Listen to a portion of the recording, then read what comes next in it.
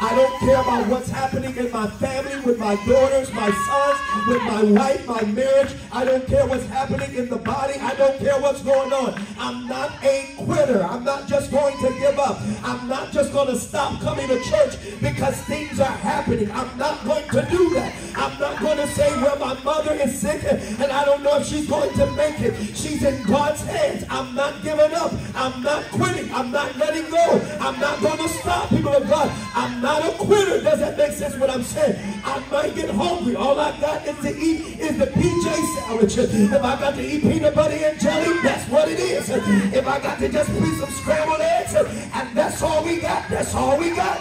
But I'm not a quitter. I'm not going to moan and groan and be mad because I don't have this and have that. See, in the kingdom, you're going to find some hard things. And you're going to hear some hard things. This is why when you're married and things are going on, you might hear your pastor say, listen, forgive him. Forgive her. Reconcile. She's a pastor. You don't understand what they, what they did.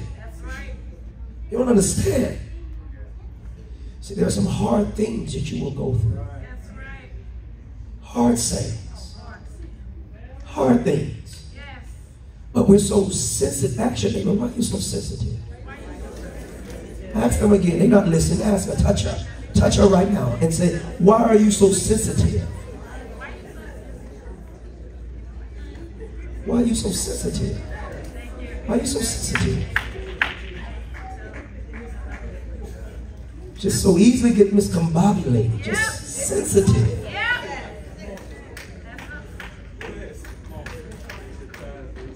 So I gotta get out of here. What I've learned is that when you're going through hard things, I've learned, Brother Oscar, when I'm going through hard things, there might be times I do need a vacation. Nothing wrong with a vacation. Though. There's nothing wrong with a vacation. Now, you just can't be taking vacation all the time. Somebody would like to take vacations every weekend. That's I won't be here on Wednesday. I'm not gonna be here on Sunday either because we, we're doing another flight, we're doing another cruise, we're doing another, we're going up the mountain over in. Stop all that. We, we still building the church. Put some of that money in the offering. Amen. But it's okay to go on a vacation, brothers and sisters. Because the vacation, you kind of get away. And you can kind of be refreshed. See, but if you're going on vacations and you doing all of this stuff, you really didn't vacate. You, you were working and doing stuff there. And now you come back, you said, I'm tired. I need another one. Uh-huh. Because you didn't get yourself refreshed. So if I go on a vacation, I ain't doing nothing. That's it, sister. Eat, sleep. And even if we go see things, I want to walk real slow.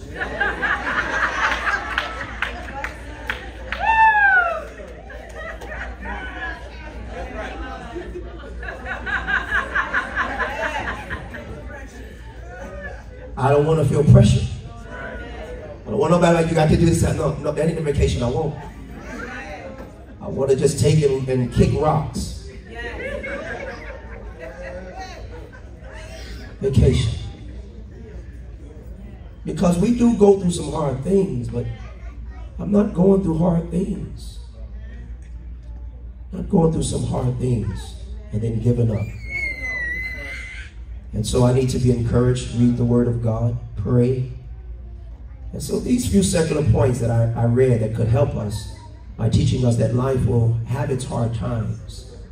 These teachings will help me that when I'm facing difficulties or being challenged to do better, that I might have to exert more energy and push myself to do more. But I'm telling you, I'm not going to throw in the towel. I'm not going to give up. I can't let anything stop the goal that I'm trying to reach, and that is to be saved. And this is my plight to the Belle Glade area and to the saints of Belle Glade here in New Life. I want to talk to you from the heart. in Belle Glade, the spirit, one of the spirits here in Belle Glade is a spirit of giving up. Yes. Or the yes. spirit of I don't care. Yes. The spirit of like nonchalant. I don't care no more. Yeah. I don't care. You can tell that. And I'm going to say some things, and I, I, I hope you are not sensitive where you get offended. What I'm saying is this you can tell that we don't care. You can tell the spirit. So notice I didn't say an individual, but the spirit. So I don't care. I don't care. One thing in Belle Glade, what you will see in Belle Glade is trash thrown out on the ground. Trash. Just. You will see that we don't care about our property. You will see the new buildings that are just built are now will start looking raggedy after a while. You will see that when something is built that's nice, we don't take care of it. Why? Because we don't care. You will see cars, cars that are in the grass, cars in the grass and just sitting there that needs to be repaired, one wheel off, the other one uh, hanging off and it's just sitting in the in the middle of the grass and cars and people washing their their car on the grass. Uh, don't be sensitive. You will see. You will see. You will see in front of people's houses, they might have some cheers outside of the house and just maybe dining room cheers, but it ain't just, just regular, just different cheers outside just sitting there and maybe somebody have a cigarette ashtray and it's there for tomorrow because we're going to sit out here tomorrow. But if you ever go to a nicer neighborhood, See, when I went off to college, one of the things that I saw, I thought it was, I, I, I tripped out about this because I'm, I'm from Gary, Indiana. I've talked about that place before. But when I went off to school, the university, Ball State University, one of the things that kind of tripped me out when I started seeing them take, uh, they beautify the lawns. And they were taking the, the, the flowers that, that were still blooming. They would come and take all those flowers out and put new ones in there. And I'm sitting here like, what you doing all that for? Because they care about the outlook of the school. They care about the grass. Today here in Belle Glade, you can just see somebody just walking to your backyard. Because they don't care. You see how people come out of the house. Hair undone. I call them bags. My wife call them um, bonnets.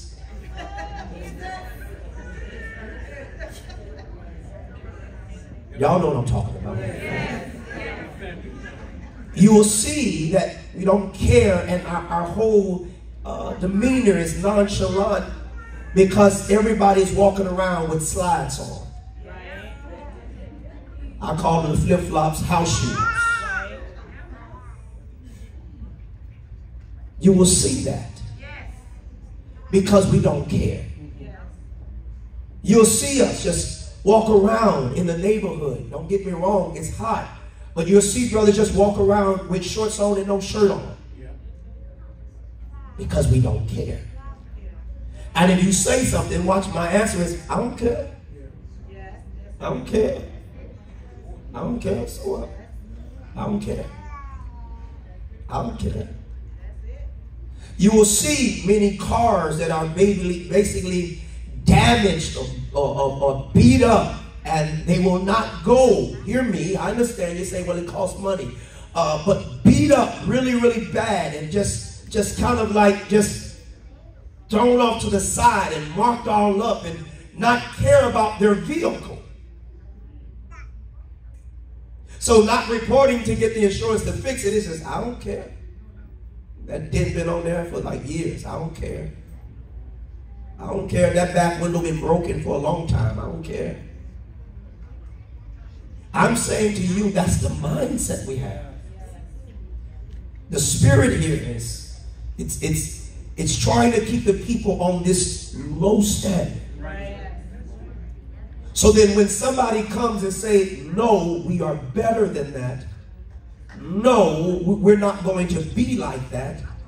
No, we're not going to act like that. No, we're not going to have our posture is not going to be like that. No, our mindset is not going to be like that. No, young lady, you're not going to be like that. No, my brother, we're not going to be like that. No, when you hear me saying to all of the brothers, when you come to church, have on a shirt and a tie because this is not the norm. You hear what I'm saying? When you hear me say, sister, you need to look like this and that, I don't want you to think that I'm trying to control you, but I'm telling you the normalcy that's in here, it's a spirit. And so now I'm going to push what God wants and how God wants it to be. I'm going to push God's will, God's way. I'm going to push holiness. I'm going to push a standard that you may not be used to. And when it comes to you, you're going to feel like there's too much pressure. I'm telling you, we got the mindset of small church. We got the mindset of small things. And when I'm trying to push you to look at something bigger on the grander scale, Pastor, we ain't used to that. And, and you trying to make me do some things that I ain't comfortable comfortable about doing, and, and, and that's too hard for me. And I feel like I just want to just give up, and I'm just going to sit in the background because too much is going on, and I can't handle this. Too much, that's what it is. I'm trying to change the culture. So when I tell the young ladies, listen, no, you don't need to be like that. It's kind of like, Oh, I feeling it. But what I'm trying to tell you, this is not the normalcy. This is not the normal. So this is why we try to take some of the saints and different young people to other places so that you can see that when you see it, you be like, whoa. Whoa, I didn't know. I didn't know. It's like when you go somewhere and you and you kind of be in certain places, you know that you, you can't go over there loud. This is why I thank God. I think Sister Minister Porter and I think uh, I think it was you, sir, that took the kids, the young people, to a dinner where they had to dress up and eat, and the young ladies had to wear nice dresses, and the young man had to wear their and ties or look nice when they went out because some people are not used to that so that when they sit down, they know how to order their food and they know how to talk and they would say, yes, can I have some water, please? And, and, and, and know how to talk or articulate the words that they're saying. So when you hear that or when you see us do that, it's like, y'all too much. You're doing too much, Pastor. You need to kind of calm down. But I'm pushing. We're pushing because we're changing the mindset and the culture this is why you young men, you might say, well, Pastor, you be pushing us and we young. But I'm trying to push you because why? You are in Glade Central. You're at Pahokee. You, you, you go to these schools. And if I can push you, watch this, then we can push God's agenda in that church. And so you're the vessel that's there. So I'm pushing you like God is pushing me. But when I'm pushing you, you're like, stop pushing. Pastor. Stop pushing. This is not how they like it, Pastor. I have to get in the mindset that I don't care about how they like it. Right. I don't care about how things were here. There's a different agenda that God has going on here in the Glade area. This is why it's hard to kind of understand when we talk about order. Because if everything was just so out of order and confusion, then when order comes, people sit there and say, What is this? It's called order. It's called structure. It's called the way. It's what God wants. It's His way. If you hear what I'm saying. And so, brothers and sisters, I, am going to bring it to the end. I want you to see Hebrews chapter 12, verse 2. Maybe should have made make it a series. Hebrews chapter 12, verse 2 said, Looking unto Jesus, the author and the finisher of our faith. When I feel like I'm ready to give up and throw in the towel, I need to think about this scripture. I'm looking unto Jesus, who is he? The author and the finisher of my faith, who for the joy that was set before him endured the cross. Notice what he did. He endured. So brothers and sisters, you and I need to endure. To my Creole speaking brothers and sisters, I need you to endure. To the Spanish speaking, I need you to endure. Meaning you're going to go through things that you're going to feel like it's heavy. But I need you to endure. The Bible says endure. What did he do? He endured. He endured. The Bible says, for who the joy was set before him endured the cross. What else did he do? Despising the shame and is set down at the right hand of the throne of God. That right hand is the authority of God. Not that he's literally on the right hand side. He's in authority. Because you can't get authority unless you've gone through something to get authority. And so God is telling me, Philippians chapter 1 verse 6, being confident of this very thing that he which hath begun, watch, a good work. God's, I don't know about y'all, but he started a good work in me. Amen. Like when he started in me, I was like, God, finish what you started. Finish what you have you started. Finish it. And I'm still saying that today. God, you what you started in me, to the man of God that planted it on my heart, that taught me the word of God. I'm grateful for my mother. Whatever you started in me, finish it. Because I don't just give up, Gabby. I don't just give up like that. I need God to finish it. Finish what you started in me. Being confident of this very thing. Notice being confident. I'm not arrogant. I'm just confident that he which hath begun a good work in you will perform it until the day of Jesus Christ. I'm just going to be able to go over this one, one saying. People of God, I'm saying to you, as Paul said to the church of Galatians, that let us not be weary in well doing. For in due season we shall reap. If we do what? If you don't give up. If you don't faint. So here it is, and let me just do one point. The hardest thing in the kingdom of God, watch this, is change. The hardest things in the kingdom of God, you're going to face some hard things. And one of those things is change. Why? Because people don't like change. We don't like change. Or we like the change that we want.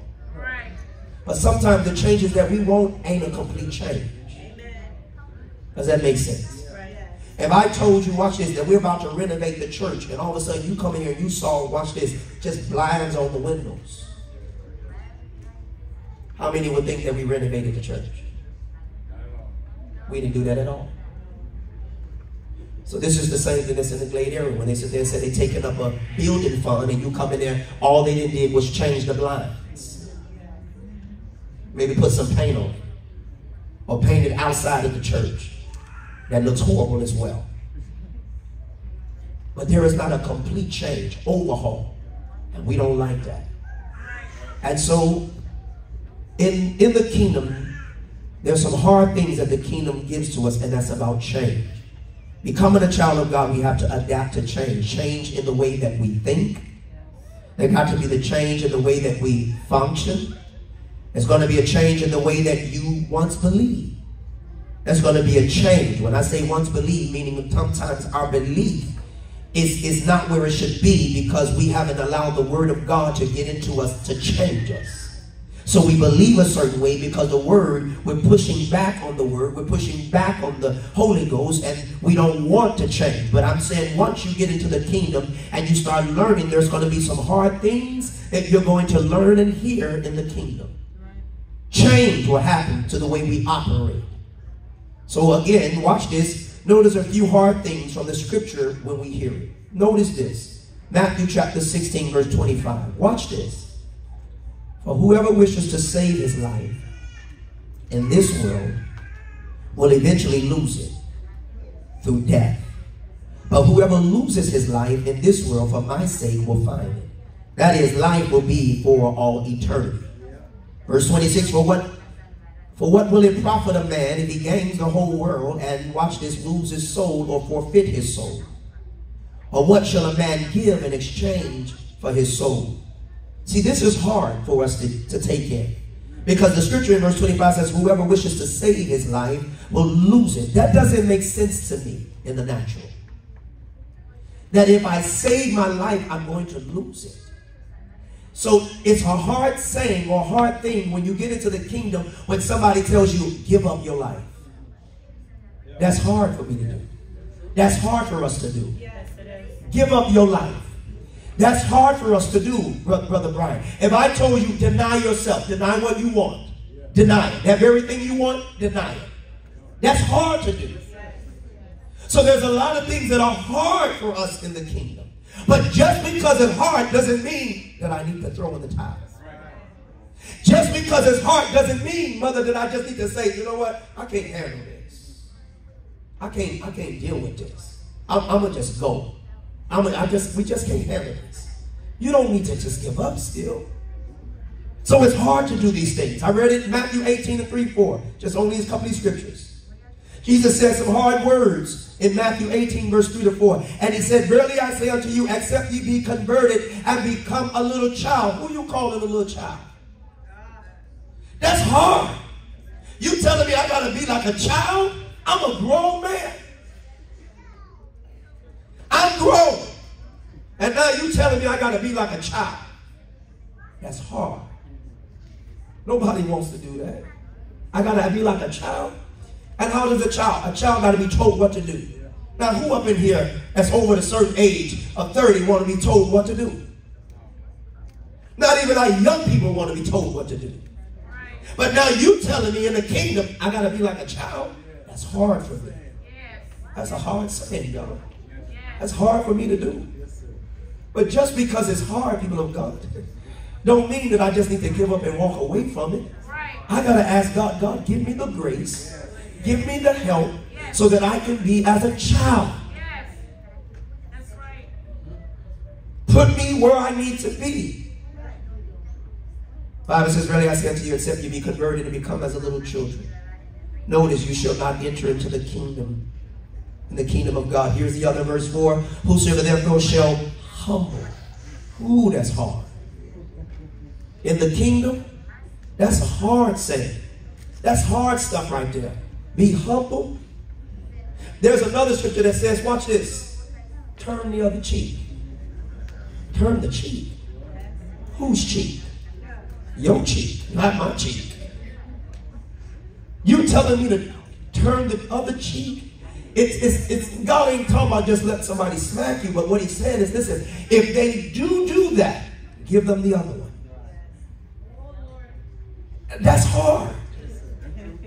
That's hard when he tells me, pray for your enemies.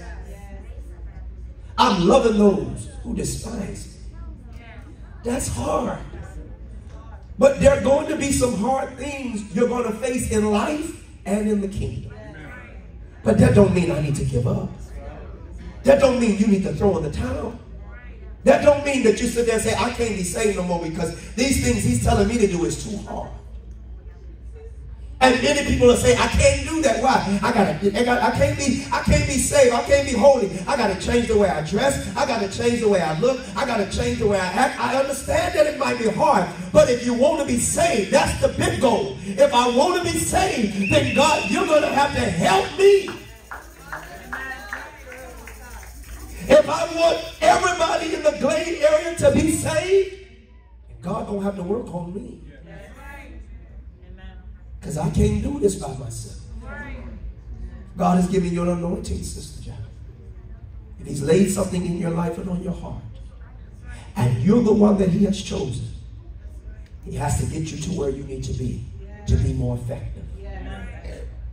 He has to put you. This is why you will see me get on the leaders and I say, I want to meet with you. I want to meet with you. Why? Because I'm going to push you. Why are you pushing on me? Because God wanted to use you. And the only way he's going to be able to use you, you got to be here. So I'll say to you, can you find a way to get here? Or I'll say to you, now sister or brother, we got to do this. And what I'm going to do is I'll be meeting with you. And the things that I see, you thinking I'm nitpicking. But no, I'm trying to get you to the place that he's laying on my heart to get you so you can be more effective. Because so many people like the titles in this city. Bishop, apostle, prophet, minister, evangelist. They like all of these different titles. But I've learned I don't need to be into the title. I need to let the ministry speak for itself. Does that make sense what I'm saying? And this is what people of God, I look when I sing, I look at the scripture. Paul said this thing. Paul said this in Romans 13 11, For I speak to you Gentiles, and as much as I am the apostle of the Gentiles, I magnify, watch mine office. Notice, is it Romans 13 11? At that knowing that time. Go to uh, chapter 11, Romans chapter 11, verse 13. Maybe there. Pull that up for me, please. For I speak to you Gentiles, and as much as I am the apostle of the Gentiles, notice what he says I magnify my office, not my title. I magnify the ministry, not my title. Oh, that's good. That's good. So I'm not putting this big thing on my title. I'm an apostle. Right. No, Paul says I'm magnifying the ministry. That's what I want you to see. The ministry. We're going to blow that up. Yes. But the title ain't got nothing to do with that. Because if I'm not doing what the ti- what the ministry tells me to do, then my title means nothing. Amen. And so, people of God, in the kingdom, there's going to be some hard things. And I'll show you this, and I'm done. I want you to show you a prophet in the scripture. And this may seem kind of harsh, but Ezekiel chapter 4, verse 11. See, in the kingdom, I've learned that there will be some hard things or some things that God would ask me to do. And I don't think He will ever ask me to do this, but I just want you to see it. Because when people come to me, and then sometimes you hear people sit there and say they're a prophet, I say, you're an Old Testament prophet or a New Testament prophet? Right. Go ahead now. People say, I'm a prophet. Are you an Old Testament prophet or a New Testament prophet? Because many people like to be called or act like they're the Old Testament prophets and call down fire from heaven. They like that type of prophet. Prophesying over you. Thus said the Lord. See, if you're going to be that prophet, I say, okay, be careful because the Old Testament prophets have to do some things that you and I would be like, that's hard. I can't do that, God. The book says, then watch this, Ezekiel, the prophet, and God is using him as a vessel, as a minister to the people of Israel. And he tells them to do this. Then measure out a jar of water for each day and drink it at set times. Prepare and eat this food as you would barley cakes. Eat what food? While all the people are watching, bake it over a fire using dried human dung as you fuel and then eat the bread. And the Lord said, This is how Israel will eat the foul bread in the Gentiles' land to which I will banish them. Basically, what God is telling this prophet to do cook the dung of humans and eat it. Now, you and I would be like, I'm out. I'm out, God. I'm out. If I got to be saved to do that, I'm out. What I'm saying is God wouldn't do this today. But I'm saying there are some hard things that are out there. That when you hear it or when you go through it, we we we want to just give up and be like, I'm done. I'm done. I'm, I'm, I'm not doing that. But I'm looking at that video that we looked at. These Chinese people that go through what they go through, and here we are in America sitting in the AC, sitting on cushy chairs. Lights are on and all of that. You got carpet, you got bathrooms, anyone you choose that you want to go to. You touch it, it flushes. Do you hear what I'm saying? Yes. Yes. At the same time, we're complaining. That's right. This is too hard. Yes. I'm not making enough money. I don't like what I'm going through. She or he's getting on my nerves. And I'm tired of this thing. It's hard. I'm not trying to downgrade the reality, but I'm saying there's somebody greater. Greater who we can call on and say, God, you see me. Yes. And whatever I'm going through, I'm asking you, help me through this. Help me through this because you're building up my character. You're helping me through this because there's something that you have for me to do. Yes. I'm going to be able to affect other people's lives greater than what I'm doing right now. How many know when God, and I'm done here, when God wants to use you, how many know that God will prune you? Yes. Anybody know what pruning is? If you don't know what pruning is, like those who are farmers and those who plant and those who do that, they know what I'm talking about. When he prunes you, when you prune something, what you're doing is, watch this, if you have a plant and you see certain things growing on that plant, pruning is when you start cutting it off. Cutting things. Cutting. You might be saying, but I, but I got fruit. Why are you cutting my branches? Why are you cutting me? Because God has said, I want you to bear more fruit. So in certain parts of your life, things will go smooth, and all of a sudden you'll get a halt and a stop. Why are you stopping, God? I, we was on a road everything was happening. I was feeling blessed. And then all of a sudden you stop. What is God about to do? Prune you. I'm about to cut some things off.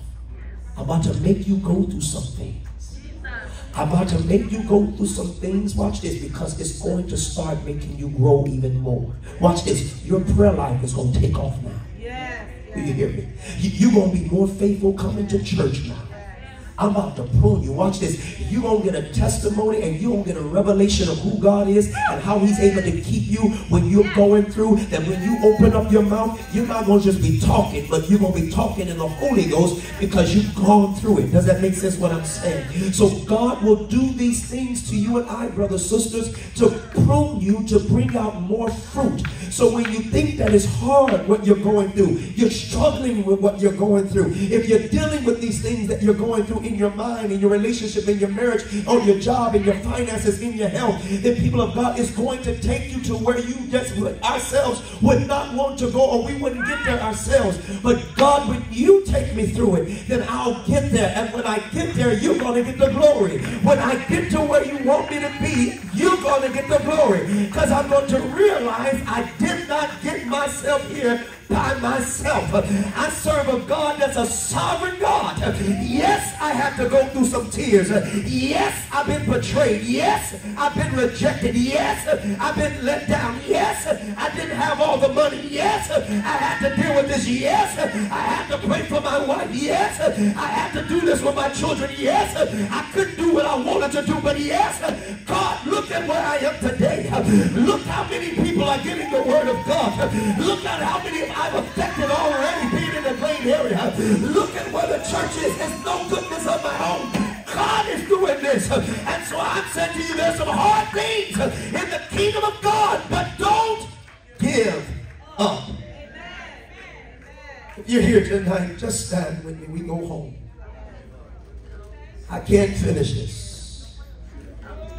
I can't finish this. There's some hard things in the kingdom. And that scripture text that we read, as you're standing, the Bible says to us that Jesus is talking to his disciples. If you look in Luke chapter 10, verse 1, and maybe in verse 17, Luke 10 and 1 and verse 17 as well, the Bible says it was 70 disciples, 70 of them. 70 disciples. But when you get to the book in the Gospel of John, Jesus is talking to these disciples and he gives a word. And the word is take, eat my body, drink my blood. They hear something that's hard. But they were excited because what were they doing before that? Master, master, master. We were, we were, we were laying hands and demons was coming out and we were doing this, master, master. Now that you get to a point, and I'm going to give you a revelation of who he is, they say this is hard. And the Bible says that they all walked away except the 12. All the disciples walked away and they walked no more with Jesus. And when they turned, he said, I turned around to the disciples and he asked them, Are y'all leaving too? Yes. Is this too hard for y'all too? Jesus. It was Peter that said, Watch this, where we gonna go? Jesus. Stuff has always been hard. Jesus. Where am I to go? If I'm having problems in my marriage, if I'm having problems at home, if I'm dealing with things with my daughter, dealing with things with my son, dealing with finances, dealing with this and dealing with that, but where am I going to go? You got the you got the words to eternal life, Jesus. Yes. Yes. Yes. Yes.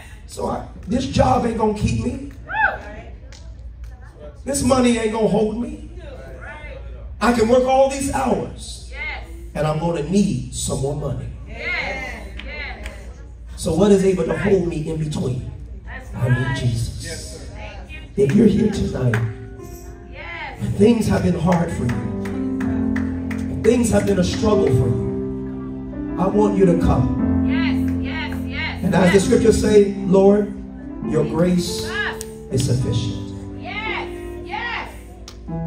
It's been hard for me, Lord, but I'm not giving up. Your grace is sufficient. Yes. Yes. I'm not going to give up. I'm not going to throw in the towel. oh, yeah, Lord. Your grace is sufficient. How about we all just do this? We- We're going home and just let's all come to the altar. Everybody in here, let's just come. Yes. Let's just come. We're going to ask God to strengthen us as, as a church.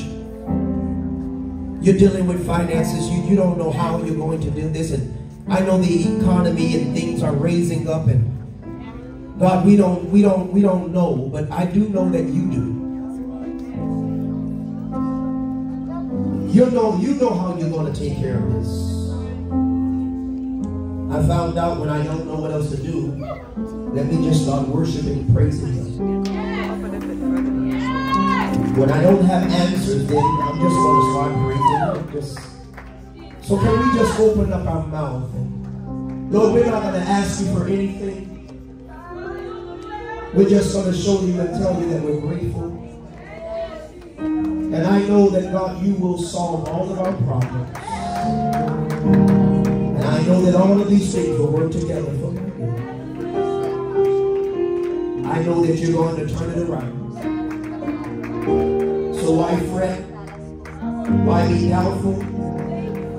Why let the enemy begin to confuse my mind? Why do I feel that my pastoral leadership is pushing me or coming at me? What are you trying to do with me? Working for my good. You hear? it. Let's lift up our hands. We're going to pray. And we're just going to just thank God. We're not going to ask Him for anything. Let's just thank Him. And for those that need the Holy Ghost, this is how you get it. You just begin to praise Him and thank Him. You begin to tell Him that you love Him. I love you, Jesus. I worship and adore you. I just want to tell you, I love you more than anything. Let us pray. Father, in the name of Jesus, we come to you tonight, God, and we just lift up our hands. We just want to say thank you. I appreciate all that you have done for me. I appreciate all that you've done for your people. Father, I am grateful and I show my gratitude to you. I just said, I bless you, Jesus. I bless you, God. You've been so good to me. And I just want to thank you. Thank you for over me. God. Thank you for blessing us, Lord God, with life, live, faculties, oh God. Thank you for the true word of God. Thank you for the truth. Thank you for washing away our sins in the waters of baptism. Thank you for filling us with the Holy Ghost. Thank you for drawing us and orchestrating our lives to this moment. Thank you, Lord God, for the rebuke, for the correction. Thank you, Lord God, for the reproof. Thank you, Jesus, for the chastisement. Thank you for the trial and the test that has come to allow me to know, God, that you're great and greatly to be praised. Thank you for the revelation. Thank you for teaching me. Thank you for long suffering. Thank you for your patience. Thank you for sitting with me. Thank you, God, for being a father when I didn't have one. Thank you, Lord God, for your provision. Thank you, Jesus. For many, God, have passed away, but I'm still here. And it's by the grace of God. Father, our hands are lifted. Let everyone begin to now think of all the things he's done. Just begin to love on him. Tell him something. Tell him right now how you feel. Tell him how good he is. Tell him, Father, you are sovereign God. You do everything that you Lord God that pleases you. And if this pleases you, then God, let your will be done. Not my will, but thy will be done. Let your will be done. Get the glory, God. Get the honor, Jesus. Father, I pray, let me minister, God, that your, your Lord God, you smile upon your people. I thank you, Jesus. I thank you, Jesus. Thank you for those who have been baptized. Thank you for those that you have orchestrated to come to the church. Thank you for those, God, that are being affected by those online that are watching and that are listening. Thank you, Lord God, for the word going out when we were doing the outdoor services.